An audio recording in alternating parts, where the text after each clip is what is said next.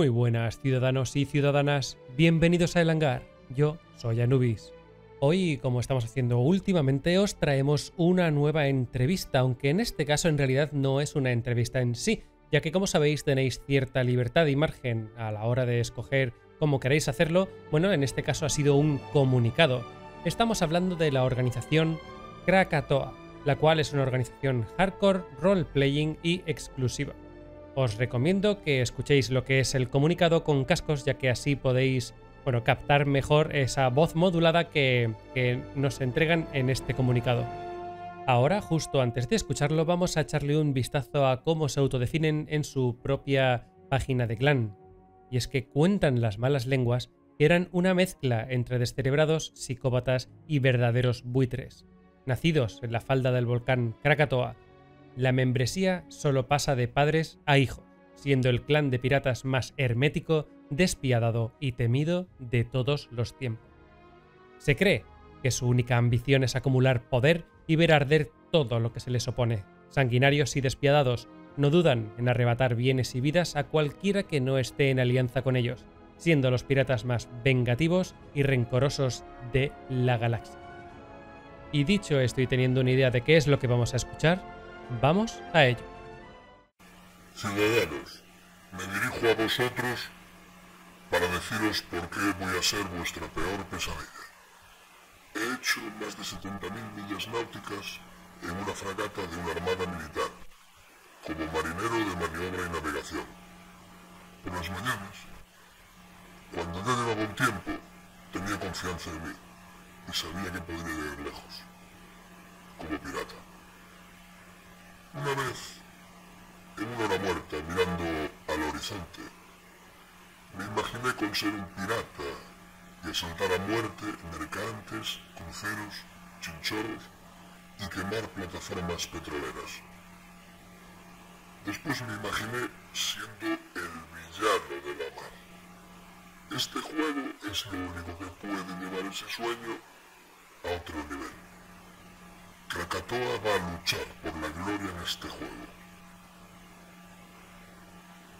Lo que mejor podría representar a Krakatoa sería una película entre el Club de la Lucha y la Naranja Mecánica. Quizá puedas entrar en Krakatoa. Hay una serie de requisitos. Son, durante 40 días deberás spamear un punto en nuestro Discord. Uno cada día. Deberás poder demostrar mil horas jugadas de CSGO o cualquier Battle Royale. Deberás jugar 50 horas con los miembros de Krakatoa. Después los miembros que jugaron contigo votarán tu acceso. El acceso debe ser unánime.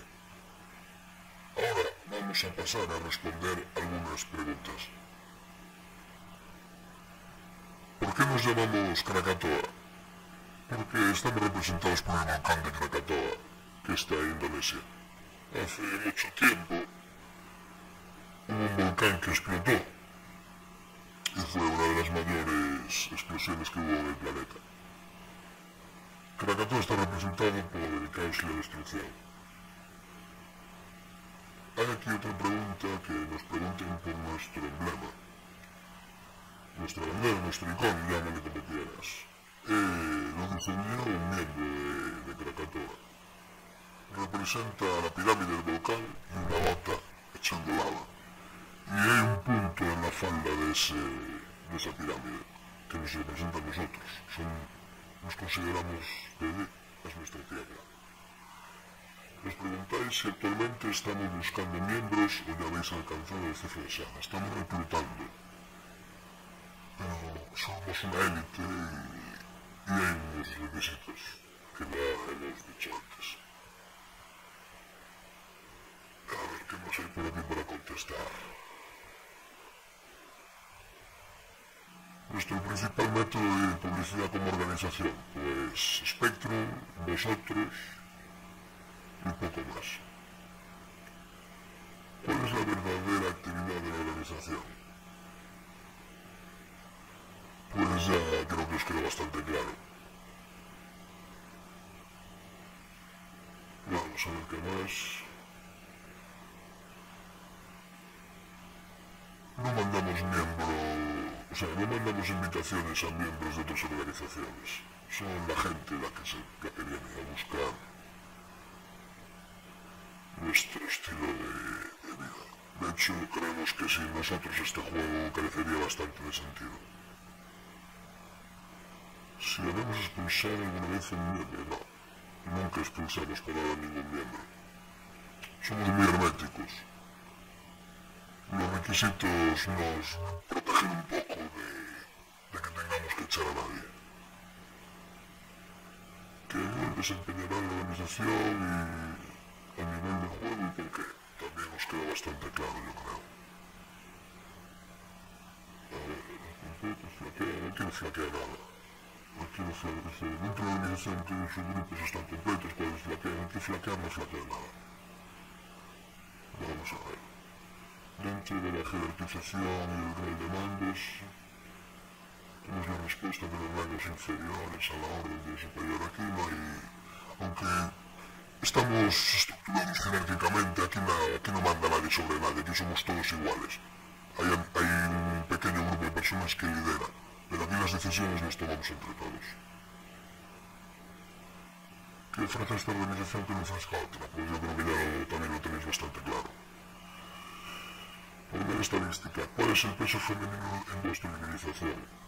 Pues leí la pregunta y me la quería saltar, pero en realidad eh, los piratas hace muchos, muchos años decían que era de mal fario llevar mujeres a bordo.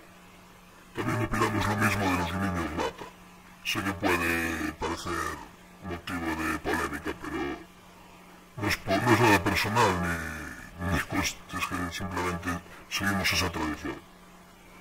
A la hora de hacer misiones, ¿cómo aseguraréis el sacrificio individual de cada miembro de no pilotar su propia nave? Aquí todos decidimos todo y cada uno es libre. Pero nos ponemos de acuerdo para causar el mayor caos posible. ¿De qué flota disponéis? Pues la vamos a tener toda, al final. En el día del tiempo acabaremos teniendo de todo. Entre lo que robemos y lo que ganemos, seguro que nos forramos. Ahora, ¿tenéis en mente alguna organización con la que es posible que tengáis problemas? Pues es muy posible, porque hay una, un clan que es bastante tóxico de piratas, pero vamos a decir que es una pena la gente, porque seguro que hay buena gente que está ahí dentro, y hay cuatro o cinco gilipollas que bueno, que es mejor que fueran a jugar a, la Virisca por ahí a algún sitio. Eh, vamos a ver, ¿estaríais dispuestos a compartir recursos con organizaciones neutrales? Aquí las neutrales son, come, no, eh, es nuestra comida. Todo lo que no sea, todo, todos los que no estén de acuerdo con nosotros o tengamos algún tipo de, alianza o tal, eh, esos son clientes, por decirlo de alguna manera. Nosotros somos como empresarios del delito y encima somos unos cabrones. Eso sí. Si una de vuestras naves importantes sufre un accidente con otra organización, de verdad, no ha sido culpa vuestra, como, pues, no sé, como reaccionar, nos queremos hacer. Si seguimos vivos, nos daremos el palo y punto. ¿Aportaríais ayuda sanitaria a miembros de otras organizaciones que hayan se visto involucrados en un accidente? Hombre, claro que les prestaremos asistencia y también pasaporte. Eso desde luego. ¿Qué tipo de represalias tomará la organización ante otros conflictos? A nosotros, los demás, nos dan igual. Simplemente, eh, básicamente, eh, vamos a por ellos. ¿Vais a estandarizar algún modelo de nave en concreto para la defensa? Esto no... Bueno, lo que cuadra en cada momento. ¿Cuál es la edad media de la organización? Aquí estamos entre 25 y 30 años, pero no tenemos ningún problema con aceptar a gente. Si es un niño fuera. Eso sí que no, no lo soportamos. ¿Estarías a favor de una fusión hispana global en una sola organización? Lo siento, pero no. Eso no tiene, no, no, no cabe en nuestro, en nuestro modo de pensar. De hecho, eh, nosotros Creo que ya queda bastante claro, más o menos. ¿Tenéis algún mensaje para la comunidad que nos sigue y están viendo en estos momentos? Sí, claro. Lo que ya dije al principio, y todo esto. Pues nada, muchas gracias Marcia, Luis. No podemos garantizar la seguridad de ningún miembro de vuestro grupo, de vuestros seguidores, de los ciudadanos del canal. Lo siento, pero. Los únicos que estáis con protección total sois tú y Anubis. Eh, ¿Por qué? Pues por el trabajo que hacéis por la comunidad, porque hace falta gente como vosotros para que este juego sea grande. Y también porque nos estáis dando la oportunidad de salir en, en vuestro canal. Lo estáis haciendo de puta madre. Que lo sepáis.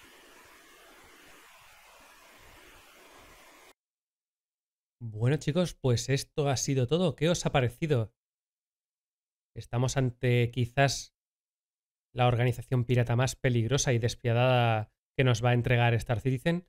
Será un equipo de élite que pondrá en jaque a todos aquellos despistados que no estén capacitados para soportar una amenaza de este calibre.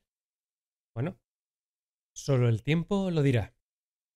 Señoras, señores, damas y caballeros, esperamos que os haya gustado el vídeo, ya sabéis, comentadnos lo que queráis y como siempre os dejaremos en la descripción el enlace tanto a su Discord como a su página de organización. Chicos, nos vemos en el universo. Chao.